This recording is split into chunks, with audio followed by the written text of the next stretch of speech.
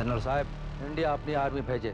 इससे पहले हमें अपनी फौज भेजकर जूनागढ़ पर कब्जा कर लेना है। नवाब साहब को समझाने की एक आखिरी कोशिश करो। सरदार मुझे नहीं लगता इससे कोई फ़र्क पड़ेगा। तो क्या चूड़िया पहनकर बैठे रहे हम?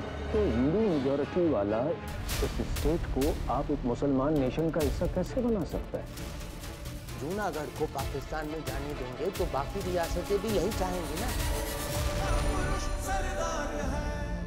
सरदार द गेम चेंजर हर रविवार प्रातः साढ़े ग्यारह बजे और पुनः प्रसारण रात दस बजे। सिर्फ़ डीडी नेशनल पर देश का पहला चैनल देश का अपना चैनल